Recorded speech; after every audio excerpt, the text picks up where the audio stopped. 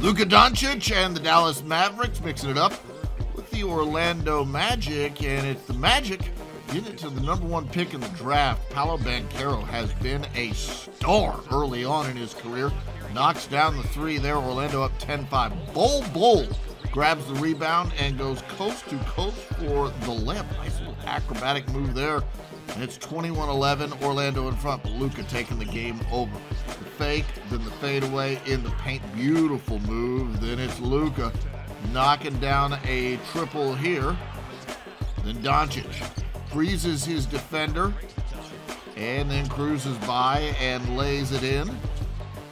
Then it's Luka driving past defenders for the score and the foul.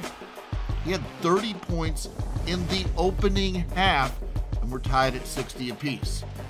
Fourth quarter, more of the same from Luka. Dropping in the fadeaway from the paint. Dallas is up by seven. Late in the fourth, Orlando keeping it close. Bol Bol fakes the handoff and then just drives in and works his way to the basket for the layup. Banchero spins and hits the short jumper. He had 18 points in the game, but the Mavs close it out.